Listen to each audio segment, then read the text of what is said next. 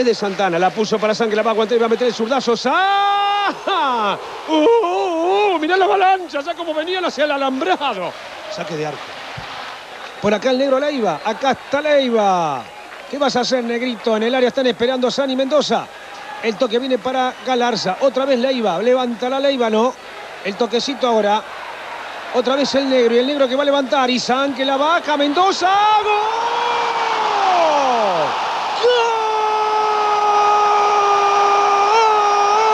¡Gol de Banfield! Cuando parecíamos que íbamos al 0 a 0 al término del primer tiempo, apareció Franco Mendoza, 43 minutos. Banfield 1, San Lorenzo 0. Pero, ¿estaba habilitado el negro Mendoza? Momento, Rexona. Otra vez con pelota parada, especialidad de la casa. Acá está Galván, levanta Galván, Sibeli arriba, Paleta también, Sibeli. El rebote, Paleta. ¡Gol!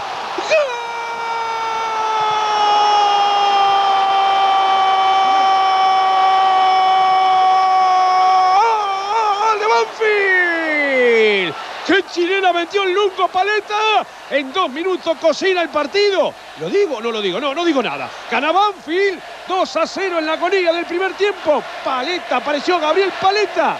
Algunos preguntaban si Paleta estaba habilitado. Vean ustedes la posición de Adrián González, que va a permitir que sea lícita la posición del zaguero. Buen recurso de Paleta, la pelota se le iba. Chilena ya a cobrar cuando parecía, como decía Walter, que el primer tiempo terminaba 0 a 0. Banfield se va al descanso 2, San Lorenzo 0.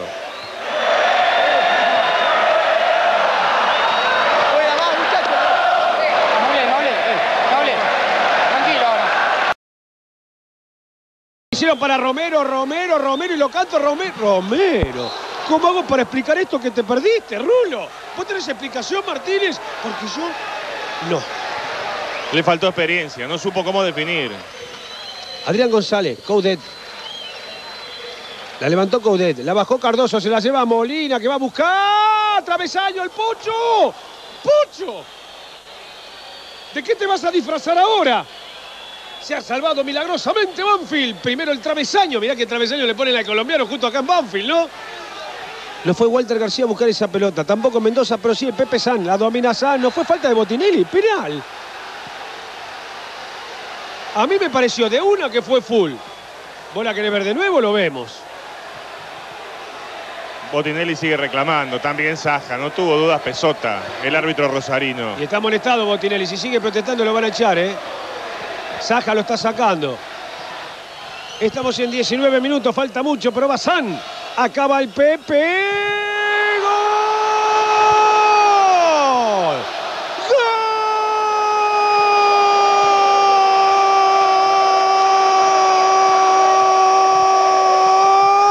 ¡Gol de Banfield! El arquero para un lado, la pelota para el otro. Gana Banfield 20 minutos del segundo tiempo. 3 a 0 a San Lorenzo. Llegó José San, el Pepe San. No digo nada porque falta mucho.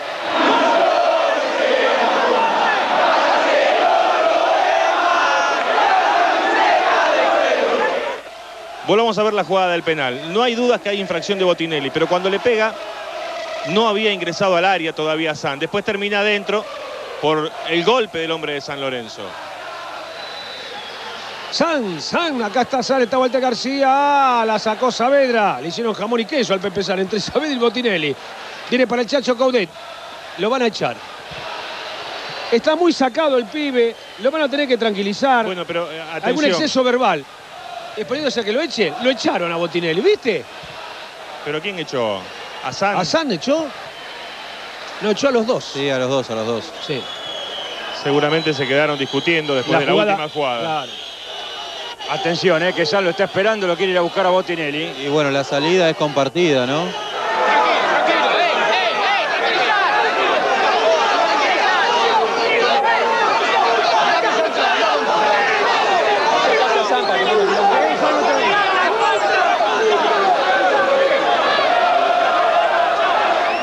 Se viene Sitanich. 20 por 27 en Banfield. No se apura, sabe cuándo hay que acelerar. Romero, Sitanich, otra vez para el rulo. Otra vez para Citani, va Citani, casi le hace penal Saja, Citani tiene para el cuarto, cuarteto, Citanillo. ¡Gol.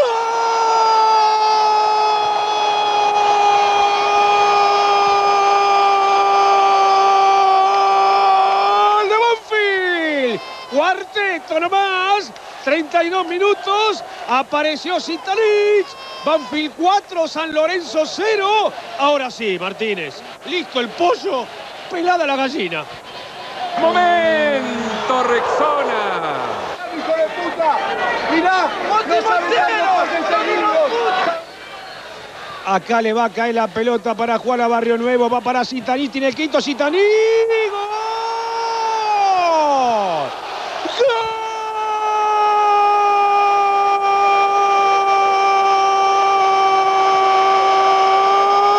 ¡Gol de Vino el quinto más. Cocinero.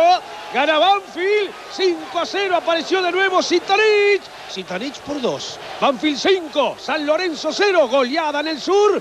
Lo sufre San Lorenzo.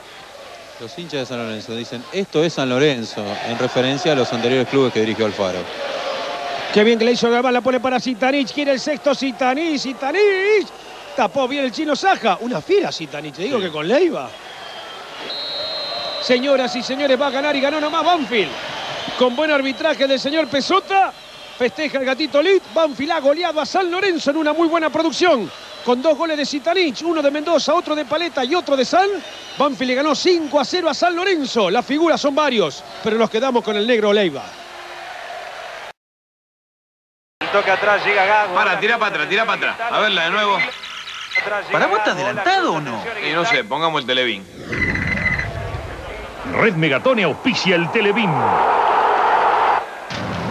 Jugada realmente difícil, porque ahí va Mendoza y San hacia la pelota, los dos con intención de jugar. De todas maneras, la pelota sigue cruzada, la va a cabecear San, habilitándolo hacia atrás a Mendoza. Pero Mendoza está adelantado cuando parte la pelota y después saca ventaja de esta posición.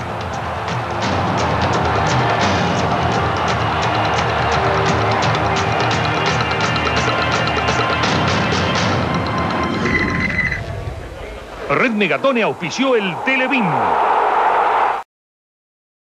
Vos querés que se haga campeón gimnasia, pero en la última fecha juegan con gimnasia. Qué difícil eso.